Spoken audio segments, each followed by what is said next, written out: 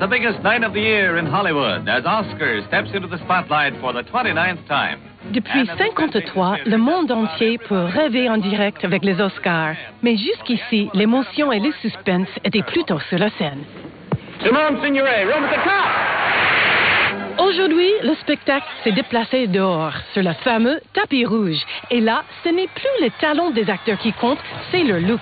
Avec 44 millions de téléspectateurs aux États-Unis, dont 60% de femmes, les Oscars sont devenus le plus grand défilé de mode du monde. Les Oscars, c'est vraiment le Super Bowl de la mode. Les couturiers mettent en avant leurs plus belles créations en espérant bien sûr que la star qu'ils ont habillée sera vue à la télé. C'est le deuxième plus grand événement médiatique sur lequel on peut miser en Amérique du Nord. Alors les créateurs veulent que leur tenue soit bien en vue, au premier plan. Cette année, les Oscars ont été diffusés dans 157 pays. Il y avait plus de téléspectateurs pour le tapis rouge que pour la cérémonie. Normalement, pour signer un contrat publicitaire avec une star internationale, une marque de luxe doit payer environ 5 millions de dollars. Mais ici, les modèles s'appellent Nicole, René, Scarlett ou Catherine. Et la seule chose à faire, c'est leur prêter des robes. C'est le seul grand moment de télé où le placement de produits en haute couture est totalement acceptable. Ou demander à quelqu'un ce qu'il porte n'est pas mal vu. Au contraire, c'est même encouragé. Dans le milieu de la mode, on s'intéresse beaucoup à ce que portent les stars et aux retombées que ça peut générer. Les actrices les mieux habillées des Oscars, c'est le genre de titre qu'on voit dans tous les magazines et sur toutes les chaînes de télé. Et là, le calcul est simple. Pour un spot de 30 secondes sur la chaîne ABC pendant les Oscars, un annonceur doit payer un million et demi de dollars, alors qu'un couturier n'a rien à faire pour voir son produit recommandé par les plus grandes icônes de la féminité. Charlize porte Gucci, Angelina est en Mark Bauer, Nicole est habillée par Chanel et Jennifer craque pour Valentino. C'est un grand moment de marketing pour les créateurs. Valentino a même déclaré que habiller une actrice oscarisée équivalait à 27 millions de dollars en publicité gratuite. C'est un chiffre qui pèse son poids. Les attachés de presse des grandes maisons contactent personnellement les stars pour les inviter à des défilés privés. Ou bien, ils envoient carrément des robes chez les nominés en espérant tomber sur la gagnante. Une fois, une actrice qui était nominée alors que personne ne s'y attendait a dit Je savais que je ne comptais pas parmi les favorites parce que les couturiers ne se sont pas bousculés pour m'envoyer leurs robes. C'est révélateur, non?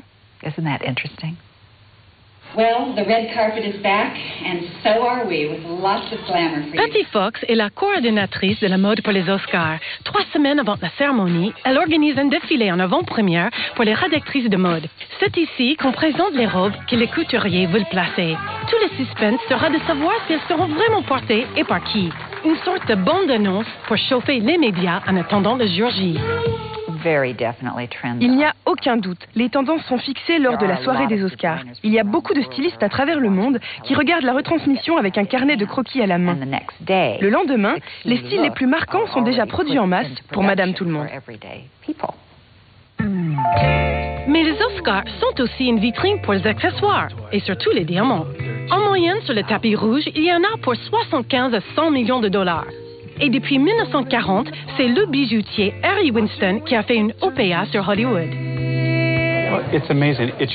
C'est incroyable comme phénomène. En général, ce ne sont pas les nominés qui achètent nos bijoux, mais plutôt des téléspectateurs qui ont vu nos créations sur le tapis rouge. Ils veulent acheter ce que portait Charlie Theron, Queen Latifah ou Renée Zellweger ce soir-là.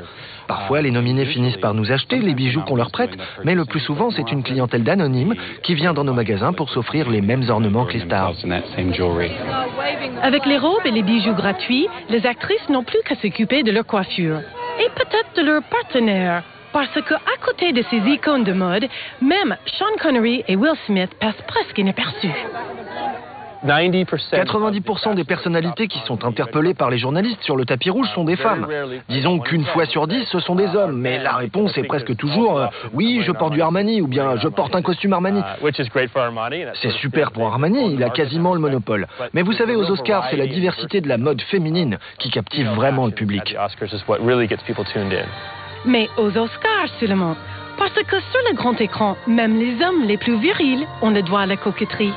Et eux non plus, ils ne sont pas incorruptibles. Sabe, durante todo o filme, eu quis te perguntar uma coisa? Bem, logo e pergunte.